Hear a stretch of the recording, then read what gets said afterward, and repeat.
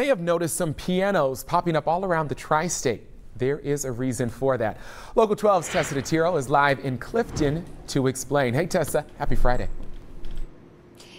Hey Kyle, happy Friday. I don't play the piano, even though many people in Clifton here have asked me. I can play this. There's just a little C chord for you. But regardless, music brings us together. Maybe it's that melody that makes you move or the song that takes you back. People are making new memories on instruments just like these across the city. This one here is on Ludlow Avenue. No matter where you are, it's easy to appreciate beautiful sounds.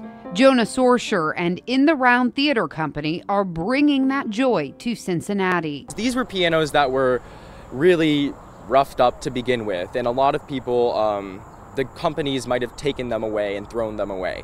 The group worked with kids in Madeira and Madisonville to give the keys a fresh coat of paint. Now chords ring out in places like Price Hill, Northside, and Eden Park.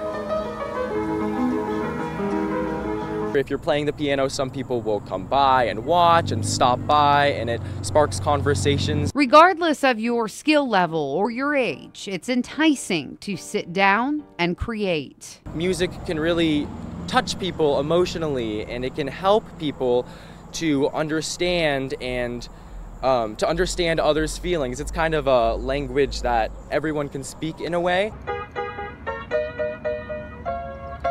During a week so full of heaviness, the Piano Project is a space to slow down and listen. So not only is it helping people feel better, but it's also bringing them together so that um, hopefully change can be made.